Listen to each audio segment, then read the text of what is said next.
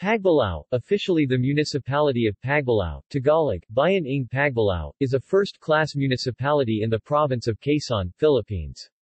According to the 2015 census, it has a population of 75,023 people. It is located on the northern shore of Tayabas Bay on Luzon, just east of Lucena City, the provincial capital. Barangays Pagbilao is politically subdivided into 27 barangays. Demographics. Government. Elected officials 2016 to 2019 Mayor, Shierre Ann Portes Palicpic Vice Mayor, Joseph C. Garcia. Councilors Ariel T. Martinez Baranio R. Fuentes Jeffrey A. Timiana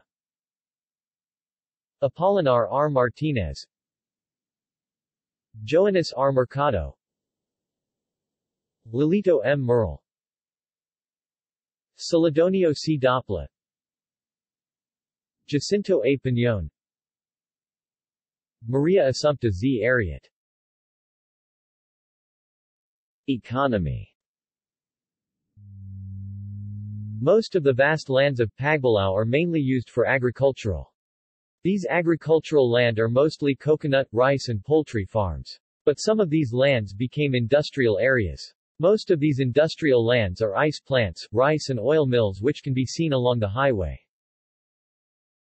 The province of Quezon announced that they are planning to make an industrial park or economic zone in the barangays of Alyapay and Bantig of Pagbilao. It will really help the employment of the people of Quezon province. Commerce is also rapidly grown not only in the downtown area, but also spreading in the whole town. Commercial establishments are growing from Talapan up to downtown along the highway.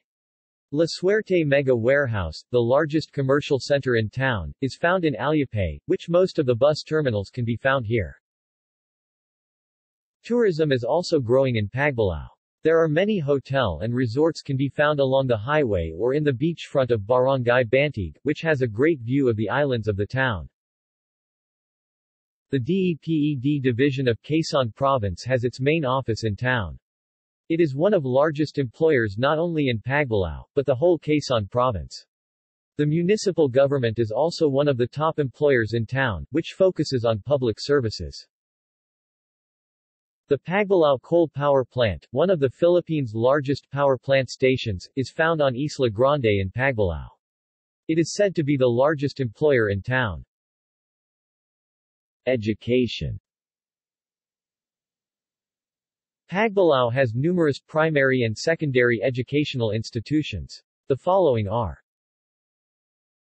Communications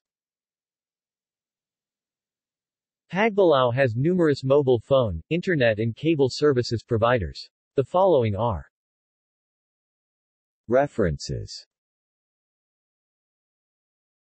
External links the official website of the Municipality of Pagbilao, Quezon. Philippine Standard Geographic Code. Philippine Census Information. Local Governance Performance Management System. People of Pagbilao